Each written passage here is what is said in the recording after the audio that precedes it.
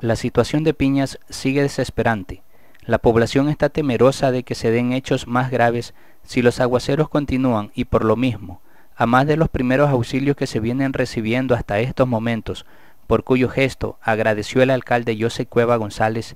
quien también dijo que la solución definitiva está en que el gobierno nacional financie los grandes proyectos de obras que como el nuevo sistema de agua potable y alcantarillado,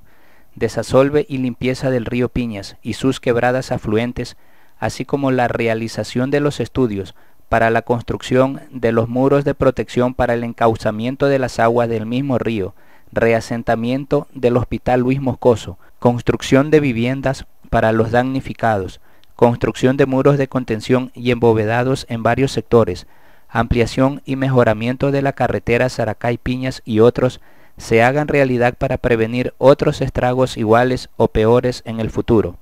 De la misma manera se está esperando la resolución de inmobiliar para que autorice la transferencia de 4.6 hectáreas de terreno del Ministerio de Educación para que el Estado central pueda construir cinco obras que están planificadas para Piñas. El destacamento de la CTE, cuyo personal ya está funcionando en esta ciudad en un lugar arrendado. Un centro piloto de desarrollo infantil del buen vivir planificado por el Ministerio de Inclusión Económica y Social MIES, la Unidad Judicial de Familia, Mujer, Niñez y Adolescencia del Consejo Nacional de la Judicatura, viviendas para el reasentamiento de las familias damnificadas de la Ciudadela La Merced de parte del Midubi, a lo cual se incluye la construcción de casas para un grupo de personas discapacitadas y damnificadas, un hospital centro de salud que es una necesidad en este cantón y está dentro de la planificación del Ministerio de Salud, e incluso actualmente se trata de la reubicación del actual hospital Luis Mocoso Zambrano porque está situado en una zona de riesgo.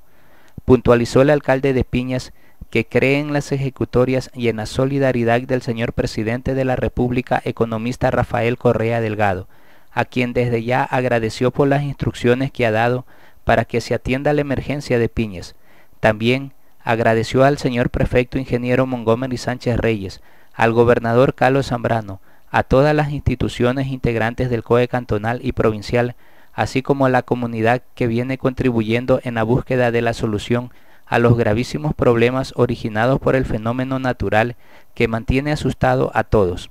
El primer personero municipal de la Orquídea de los Andes dijo que Piñas estaba rodeada en mayor parte por cerros, cuyo terreno es arcilloso y se desmorona fácilmente cuando se presentan torrenciales aguaceros, siendo necesario que el Estado central ayude para la construcción de muros en lugares específicos. Es que realmente la situación es preocupante y reclama previsión por sobre todas las cosas. Señaló que la vieja tubería del sistema de agua potable tiene alrededor de 30 años y todos los inviernos se destruye parcialmente, dejando sin líquido vital a la población por largas horas, lo que se ha agravado aún más en estos últimos días, en que los piñacienses, en su mayoría, no tienen este servicio y se los está abasteciendo emergentemente con tanqueros de agua directamente en los sectores barriales, para lo cual se han instalado tres tanques reservorios facilitados por la Secretaría Nacional de Gestión de Riesgos, pero todo es como parte de los primeros auxilios.